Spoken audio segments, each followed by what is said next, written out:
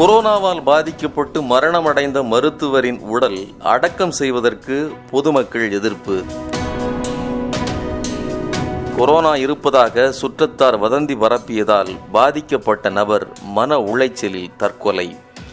டெங்குவால் உயிரிழந்த மருத்துவர் கொரோனாவால் உயிரிழந்ததாக கருதி உடலை அடக்கம் செய்ய பொதுமக்கள் எதிர்ப்பு. என கொரோனா அச்சத்தால் மக்கள் பாதிக்கப்பட்டவர்களுக்கு எதிராக அது குறித்து போதிய விழிப்புணர்வு அற்று நடத்தும் வன்முறைகள் நாளுக்கு நாள் அதிகரித்து கொண்டே வருகின்றன. இது அறியாமையா அச்சமா அல்லது யார் செத்தாலும் பரவாயில்லை நான் வாழ்ந்தால் போதும் என்று எண்ணுகிற சுயநலத்தின் உச்சமா? இதற்கு பின்னணியில் உள்ள உண்மையான காரணம் என்ன என்பதை அலசுகிறது இந்த பதிவு. புரசைவாக்கத்தில் உள்ள தனியார் மருத்துவமனையின் இயக்குனரும் நரம்பியல் நிபுணருமான டாக்டர் சைமன் ஹெர்குலஸ் கொரோனாவால் பாதிக்கப்பட்டு இரு வாரங்களாக சிகிச்சை பெற்று வந்த நிலையில் இரு தினங்களுக்கு முன் மரணமடைந்தார். அவரது சடலத்தை புதைப்பதற்காக கீழ்ப்பாக்கம் கல்லறைக்கு எடுத்துச் சென்றபோது அப்பகுதி மக்கள் எதிர்ப்பு தெரிவித்தனர். பின் மாநகராட்சி அறிவுறுத்தலின் பேரில் அண்ணா நகரில் உள்ள வேலங்காடு பகுதியில் அடக்கம் செய்ய சென்றிருக்கின்றனர். உரிய பாதுகாப்பு நடவடிக்கைகள் செய்யப்பட்டு உரிய அனுமதியும் பெறப்பட்டிருந்த நிலையிலும் அப்பகுதி மக்கள் டாக்டர் சைமனின் உடலை அடக்கம் செய்ய எதிர்ப்பு தெரிவித்தனர். அவருடைய பாடியை வந்து நாங்கள் ஒன்பது மணிக்கு வாங்கி அடக்கம் பண்ணணும்னு முயற்சி பண்ணோம். ஒரு சில பொதுமக்கள் எங்கேயுமே அவரை வந்து அடக்கம் பண்ண விடலை. குறிப்பாக அதுக்கு பெர்மிஷன்லாம் நாங்கள் வாங்கியிருந்தோம். அரசாங்கம் எல்லா உதவியும் செஞ்சது. அதுக்கான முயற்சியும் செஞ்சாங்க. ஆனால் எங்கேயுமே அவர் அடக்கம் பண்ண விடாம தடுத்துட்டாங்க. அது மட்டுமல்லாமல் ஆர்ப்பாட்டம் செய்து ஆம்புலன்ஸ் ஓட்டி வந்த டிரைவர் மற்றும் உடனிருந்த டாக்டர் சைமனின் குடும்பத்தாரையும் தாக்கி இருக்கின்றனர். ஐம்பது அடியாட்கள் மாதிரி வந்து கல்லையும் கட்டையும் வச்சு எல்லாரையும் அடிச்சு அதில் முக்கியமாக வந்து பார்த்தீங்கன்னா அதில் ரொம்ப உதவி செஞ்ச சானிட்டரி இன்ஸ்பெக்டரை பயங்கரமாக தாக்கி கிட்டத்தட்ட ஏழு பேர் அதனால் தாக்கப்பட்டு மருத்துவமனையில் அனுமதிக்கப்பட்டிருக்கிறாங்க.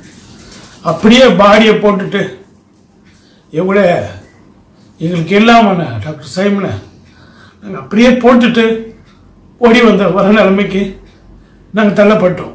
டாக்டர் சைமனின் உடலை அடக்கம் செய்ய சென்றிருந்தவர்களில் ஒருவர் டாக்டர் பாக்கியராஜ்.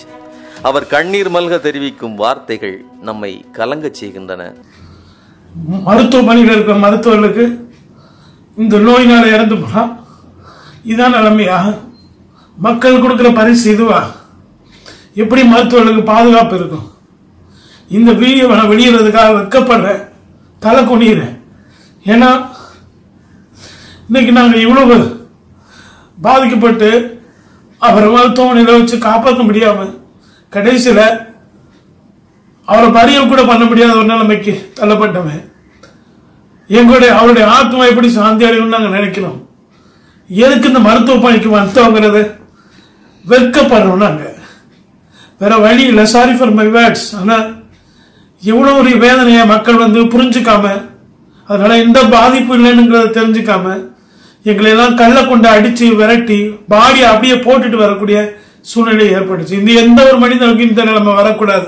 இந்த சம்பவம் நிகழ்வதற்கு முன்னதாகவே ஆந்திராவைச் சேர்ந்த மருத்துவர் ஒருவர் கொரோனாவால் பாதிக்கப்பட்டு இறந்த நிலையில் அவரது உடலும் அடக்கம் செய்ய எதிர்ப்பு கிளம்பியதை அடுத்து ஆந்திராவுக்கு திருப்பி அனுப்பப்பட்டது.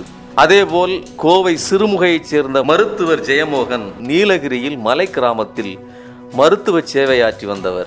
டெங்குவால் பாதிக்கப்பட்டு கடந்த வாரம் உயிரிழந்தார்.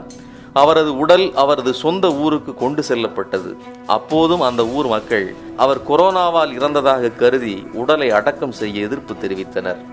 அதைத் தொடர்ந்து தனது மகனுக்கு நேர்ந்த நிலையை எண்ணி அவரது தாய் தற்கொலைக்கு முயன்றதாகவும் செய்திகள் வெளிவந்தன. இப்படி தொடர்ந்து பல மருத்துவர்களும் இன்னபிற நபர்களும் கொரோனாவால் பாதிக்கப்பட்டு இறந்தாலோ அல்லது பாதிக்கப்பட்டதாக கருதினாலோ அடக்கம் செய்ய எதிர்ப்பு தெரிவிக்கும் நிலை உள்ளது. இறந்த நபர் தும்மவோ இருமவோ போவதில்லை. அதனால் அவரது உடலிலிருந்து கிருமிகள் பரவுவதற்கு வாய்ப்பு இல்லை என மருத்துவர்கள் தரப்பிலிருந்து விளக்கங்கள் கொடுக்கப்படுகின்றன. ஆனால் இந்த காரணங்களையும் மீறி மக்கள் அச்சம் கொள்வதும் எதிர்ப்பதும் நடந்து கொண்டுதான் இருக்கிறது. கொரோனா குறித்து மக்களுக்கு விழிப்புணர்வு இல்லை. அதனால் மக்கள் அச்சப்படுகிறார்கள் என்பதை தாண்டி இந்த மருத்துவர்களுக்கும் மருத்துவ பணியாளர்களுக்கும் கொரோனா தொற்று எப்படி வந்தது என்பதை சிந்தித்து பார்க்க எதிர்க்கும் ஒவ்வொருவரும் தவறி விடுகின்றனர் என்பதுதான் முதல் பிரச்சனை. யாருனால அவருக்கு வந்து இந்த கோவிட் நைன்டீன் பாசிட்டிவ் வந்ததுன்றது? உங்களுக்கே தெரியும். மக்கள் அவர் பார்க்கல அப்படின்னா அவர் அவரை ரெஸ்ட்ரிக்ட் பண்ணிக்கிட்டு பார்க்காம இருந்திருந்தாருன்னா இன்னைக்கு அவருக்கு அந்த நிலைமை இல்லை. கொரோனா என்கிற கொடிய நோய்க்கு எதிரான யுத்தத்தில் நாம் அனைவரும் ஒன்று திரண்டு பணியாற்ற வேண்டும் என்று பிரதமர் மோடி அறிவித்திருந்தார். இது யுத்தம் என்றால் அதன் முன்னணியில் நின்று போராடும் போர் வீரர்கள்தான் மருத்துவர்கள் செவிலியர்கள் மற்றும் இதர மருத்துவ பணியாளர்கள். எனவேதான் அவர்கள் அனைவருக்கும் நன்றி தெரிவித்து கைத்தட்டுகின்ற ஜிகனா திட்டம் ஒன்றையும் அறிவித்தார் மோடி.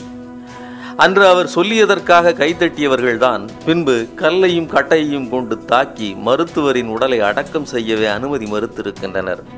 ஒருபுறம் கூட்டமாக சேர்ந்து கைதட்டவும் மறுபுறம் ஆபத்து தங்களை நெருங்குகையில் எவ்வித சிந்தனையும் அற்று எதிர்ப்பதுமாக மக்கள் நிறம் மாறிப் போனது ஏன்? குளிரில் நடுங்கிய மயிலுக்கு போர்வை தந்த தமிழன் இன்று தனது சமூகத்துக்காக பாடுபட்ட மருத்துவர்களையே அடக்கம் செய்ய இடம் தர மறுக்கிற அளவுக்கு அவனை தான் தோன்றியாக தற்குறியாக மாற்றியது எது?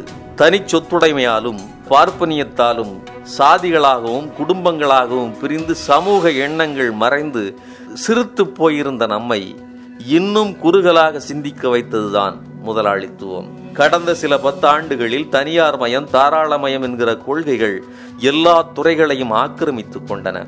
அன்பும் பண்பும் பாசமும் கூட விற்பனைக்கான சரக்குகள் தான் எதையும் எதற்காகவும் விற்கலாம் வாங்கலாம் என்கிற நியதிகள் தான் தொடர்ந்து நமக்கு பயிற்றுவிக்கப்படுகின்றன. நாம் பார்க்கிற ஒவ்வொரு விளம்பரமும் ஒன்றை ஒன்று மிஞ்சியது என்றும் அதை வாங்கி வைத்துக் கொள்வதுதான் மனித அழகு என்றும் பயிற்றுவித்துக் கொண்டே இருக்கின்றன. நாம் நகரங்களில் தஞ்சம் புகுந்து முன்பை விடவும் மிக நெருக்கமாக வாழ்ந்த போதும் ஒருவருக்கு ஒருவர் தொடர்பற்றவர்களாக நான் எனது என் குடும்பம் என்கிற அளவில் மிகச்சிறிய தீவாக குறுகி போய்விட்டோம். இந்த நிலையை கொரோனா போன்ற பேரிடர் காலங்கள் சற்று மாற்றி நம்மை சமூகமாக சிந்திக்க வைத்திருந்தன.